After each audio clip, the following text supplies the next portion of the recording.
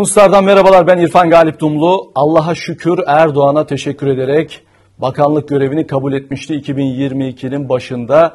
Adalet gibi yüce bir değere hizmet etme fırsatını tekrar bulduğu için çok mutluydu. 17-25 Aralık'taki 15 Temmuz'daki rolü çok önemliydi. Kritik zamanların Adalet Bakanı Erdoğan'ın sadık adamı. Bu hafta Bekir Bozdağ anlatacağım sizlere. Adaleti rezalete çeviren adamı anlatacağım. Ama önce videoyu beğenmeyi ve yorum yapmayı unutmayın lütfen. Yorumlarınız bizler için önemli. Tabii bir de kanalı takip etmiyorsanız eğer abone ol butonuna tıklayabilirseniz çok seviniriz. Hadi başlayalım. Daha önce de iki defa bakanlık, Adalet Bakanlığı yaptı Bekir Bozdağ. Üçüncü kez Tayyip Erdoğan tarafından bu göreve 29 Ocak 2022'de getirildi. Önceki Bakan Abdülhamit Gül görevden affını istemiş. Erdoğan kabul etmişti. Bekir Bozdağ 1965 Yozgat Akmadeni doğumlu Kürt siyasetçi. Uludağ Üniversitesi'nde ilahiyat okudu. Aynı üniversitede dinler tarihi yüksek lisansı yaptı. Bir de Selçuk Üniversitesi Hukuk Fakültesini bitirdi. İlahiyatçı, hukukçu bir siyasetçi. AKP yönetiminin en kıymetlilerinden. Serbest avukat olarak çalışırken 1999'da Fazilet Partisi Akmadeni Belediye Başkan adayı oldu. Seçilemedi. Fazilet Partisi Yozgat İl Başkan Yardımcılığı yaptı. İki yıl sonra AKP'ye geçti. 2002 seçimlerinde Yozgat'ta son sıradan, 6. sıradan adaydı. Seçilemiyordu.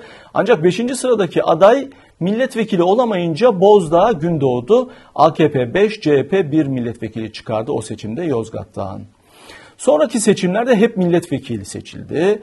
Erdoğan'ın hep yakınında tuttuğu bir isim oldu. Tam bir görev adamı. En kritik zamanlarda Erdoğan'ın sahaya sürdüğü bir isim. 2002-2007 arasında kabinede hiç görev almadı ama sonrasında Başbakan Yardımcılığı, Adalet Bakanlığı, parti sözcülüğü yaptı. Erdoğan'ın yanı sıra Binali Yıldırım ve Ahmet Davutoğlu'yla da çalıştı. 17-25 Aralık büyük yolsuzluk ve rüşvet skandalı patlak verdiğinde Başbakan Yardımcısıydı 2013'te. 25 Aralık 2013 günü Erdoğan Sadullah Ergin'i gönderip Adalet Bakanlığı koltuğuna Bekir Bozdağ oturtacaktı. Bu çok kritik bir hamleydi. 4 gün sonra 29 Aralık Pazar günü Bozdağ HSYK'ya yetki devri yenilemesi isimli bir yazı gönderdi. Kurum adına açıklama yapma yetkisinin artık kendi bakanlığında olduğunu cümle aleme duyurdu.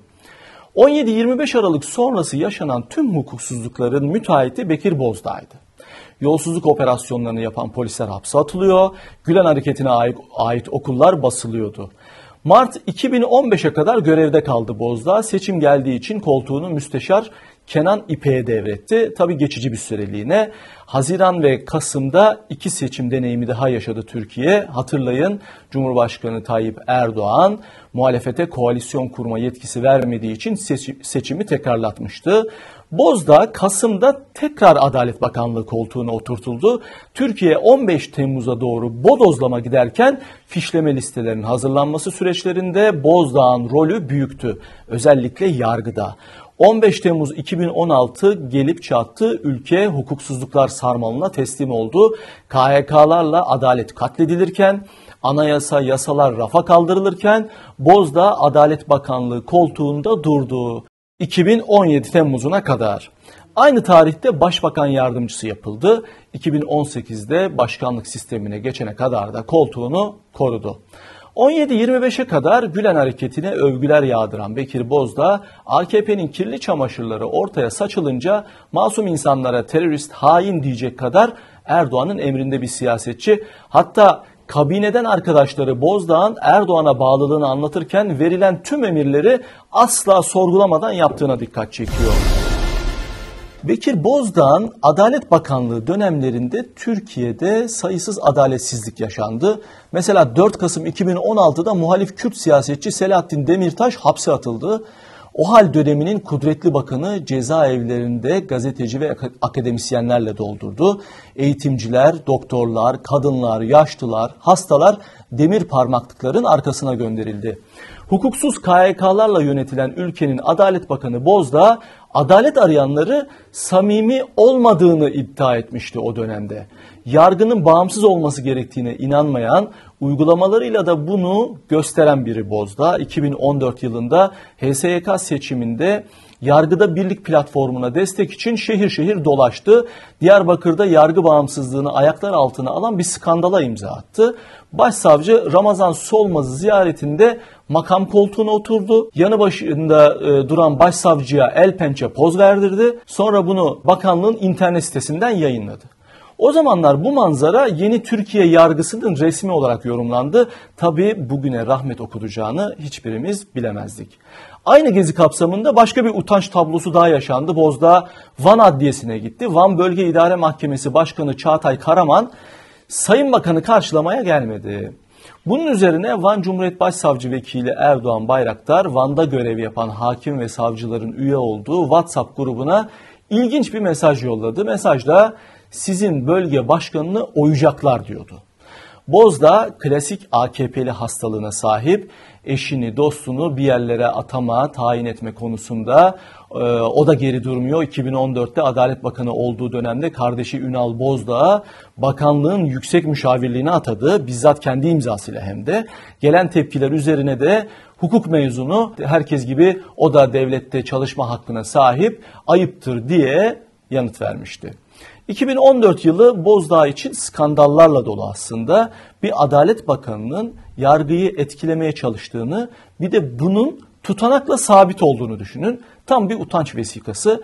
Adalet Bakanı Bozdağ hakkında Adana ve İzmir başsavcılıklarını arayıp davalara müdahale ettiği, yargıyı etkilemeye çalıştığı iddiaları var. Konu mecliste de tartışılıyor o dönemde. Bozdağ tabii çok net ve sert bu konuda yargıya baskı yapan namussuz ve şerefsizin ta kendisidir diyor. Bu kadar keskin bir itiraza ne dersiniz? Yapmamıştır dersiniz, iftira atmışlardır dersiniz. Ama durum öyle değil. Bozdağ hakkında İzmir Cumhuriyet Başsavcısı tarafından tutulan tutanak ortaya çıkıyor. Olayın şüphelilerinden biri Binali Yıldırım'ın bacana. Yani konu doğrudan Yıldırım, Binali Yıldırım ve Erdoğan'la ilgili. Mevzu bu yüzden büyüyor zaten. Bozda liman yolsuzluğu operasyonu sürerken başsavcı Hüseyin Baş'ı tam üç kere arıyor. Diyor ki dosyayı, soruşturmayı yürüten savcıdan al, kendin yürüt. Sanıklara gözaltı yapma, çağrı yöntemiyle ifadelerini al. Başta bunu tutanağa e, geçiriyor. Bakan hakkında fezleke hazırlıyor. Tabi sonra da görevden alınıyor. Yeni gelen AKP'nin savcısı da dosyayı kapatıyor.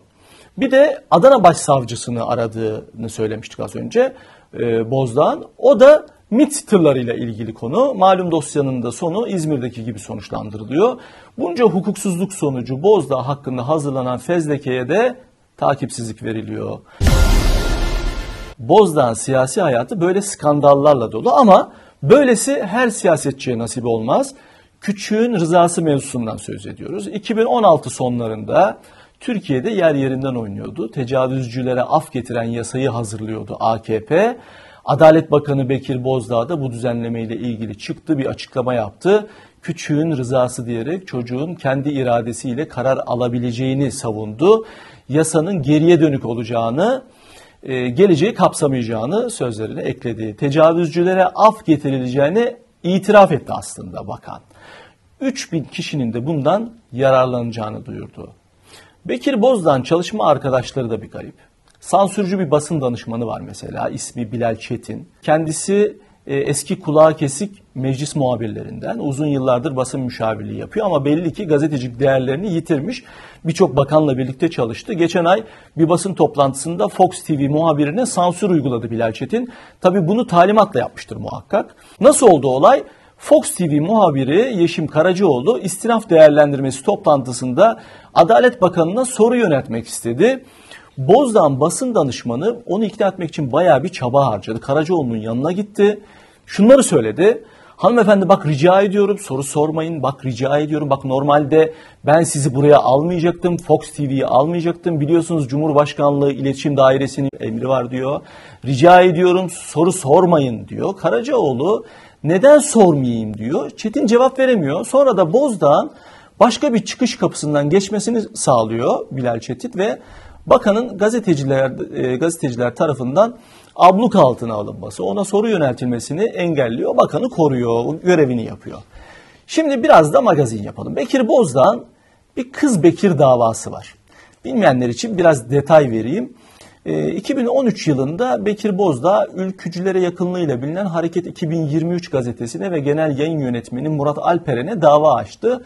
Alperen Bozdağ'la ilgili bir yazı kaleme almıştı.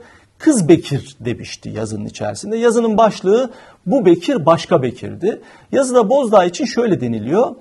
MHP'ye erkeklik dersi veren Bekir Bozdağ'ın üniversitede okurken lakabının Kız Bekir olduğunu biliyor muydunuz? Sonra malum Bozdağ ile ilgili genel siyasi yorumlar, değerlendirmeler var yazıda. Yazıya eski MHP'li, yeni İyi Partili Lütfi Türkkan da yorum yapıyor. E, meclisteki lakabı da öyle diyor. Yani üniversite yıllarında e, takılan e, Kız Bekir lakabının mecliste de devam ettiğini söylüyor. E, Türkan AKP'li vekillerin de Bozdağ hakkında konuşurken mütebessim bir ifadeyle e, kızımız Bekir e, dedikleri öne sürülüyor. Bozdağ son dönemde Sedat Peker'le de e, uğraşıyor. Peker'i e, Erdoğan'ın emri Soylu'nun kavliyle Birleşik Arap Emirlikleri'nden istiyor ama henüz sonuç alamadı. E, Peker de bir ara Bozdağ sarmıştı. Ulan Bekir Bozdağ sen de şanlı Türkiye'nin, e, Türkiye Cumhuriyeti'nin, devletinin e, Adalet Bakanı olarak o koltukta oturacaksın. Süslü Sünni'nin talimatıyla devletin namusunu koruyan savcı Sayın Alpaslan Tufan'ı görevden alacaksın sana yazıklar olsun yazmıştı. Sonrası gelmedi ama Adalet Bakanı da olsanız bu dış güçler meselesi çok önemli. Ee, Erdoğan'ın bakanıysanız, Erdoğan'ın adamıysanız çok önemli bu konu. Adaletin ifal edildiği ülkede ekonomide çökünce hemen büyük resme dikkat çekmeniz, Türkiye üzerinde oynanan oyunları anlatmanız gerek. Bekir Bozdağ da bunu yapıyor. Geçenlerde Gaziantep'e gitti Bozdağ. Burada 7 düvelin Erdoğan'ı durdurmak için birleştiğini söyledi. Şaka gibi. Bozdağ'a göre kim bu 7 düvel? Biden, Macron, Yedili Masa ve terör örgütleri. Yedili Masa dedi de e, muhalefetin meşhur altılı masasına HDP'nin eklenmiş hali. Bunların hepsi 2023 seçimlerine kilitlenmişler. Hepsinin hedefi Erdoğan'ın yürüyüşünü durdurmakmış. Neyse bu açıklamadan sonra Bozdağ kurdele kesip eğitim merkezi açtı. Sonra da kursiyerlerin yaptığı yemeklerden atıştırıp dış güçlerle mücadele için enerji topladı. Bakan Bozdağ her konuda olduğu gibi muhalefetle ilgili açıklamalarında da Erdoğan'ın sesi oluyor. Altılı masayı ısrarla yedili masa olarak vurguluyor. HDP ile birlikte olduklarına dikkat çekiyor. Muhalefete yönelik son eleştirisi Türkiye'nin geleceği kayyumlara bırakılamaz oldu. Altılı Masa'nın Cumhurbaşkanı adayının kayyum olacağını ve onlardan talimat alacağını savunuyor. Bunu söyleyen kişi HDP'li onlarca belediyeye kayyum atamış Erdoğan'ın sadık adamı. Ee, bunu söyleyen kişi Türkiye'nin dört bir tarafındaki eğitim kurumlarına, dev şirketlere, ulusal medya kuruluşlarına kayyumla el koymuş iktidarın Adalet Bakanı. Bekir Bozdağ son vukuatı Bartın'daki maden faciasında yaşandı. Bozdağ faciada yaşamını yitiren Berkay Kesim'in cenazesine katıldı. Hem ölen emekçi için son vazifeyi yapacak hem de ailesine destek olacaktı. Ama o bütün ilçe acı içinde tabutu mezarlığa taşırken e, imamın birisiyle güle oynaya sohbet ediyordu. Daha bitmedi. Cenaze defnedildi. E, Bozdağ bu kez de üç imamın arasına girdi. Yere çömeldi. Kur'an okudu. Adalet Bakanlığı koltuğunda oturan bir ismin böylesi tavrı laiklik eleştirilerine neden, neden oldu tabii ki. Bozdağ konu kendisi olunca herkes vicdan, dini inanç ve kanaat hürriyetine sahiptir açıklaması, açıklaması yaptı. Yasaları hatırlattı. Adalet Bakanı veya başkaca bir yöneticinin Kur'an okuması ya da okumamasının laiklikle ilişkilendirilemeyeceğini kaydetti. Bu tür tartışmalar Türkiye'de eskiden beri olur. Ama birazdan anlatacağım konu tam Bekir Bozdağ kalemi. Bozdağ'ın kirli işler için kullanıldığının en güzel örneği belki de Cemal Kaşıkçı dosyası. Hatırlayalım olayı gazeteci Cemal Kaşıkçı 2 Ekim 2018'de Suudi Arabistan Krallığı'nın İstanbul'daki başkonsolosluğuna girdi. Bir daha da kendisinden haber alınamadı. Daha sonra canice parçalanarak öldürüldüğü ortaya çıktı. Davanın 26 sanığı var. Güçlü bir devlet, bağımsız bir hukuk devleti yargılamayı sürdürür değil mi? Kaşıkçı'nın katledilmesine ilişkin dosya Adalet Bakanlığı'nca Suudi Arabistan'a devredildi. Bekir Bozdağ 3. kez Adalet Bakanlığı'na getirildikten sonra ilk iş olarak dosyanın devrini sağladı.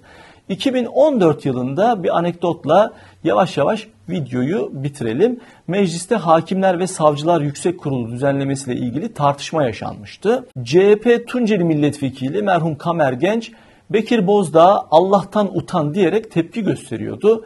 Hem imam hatiplisin hem de hukuk okumuşsun, dürüst olmalısın, tam dinsiz olmuşsun demişti. Bozdağ kendinden emin benim imanımı tartmaya Kamer Genç'in klası yetmez cevabını vermişti.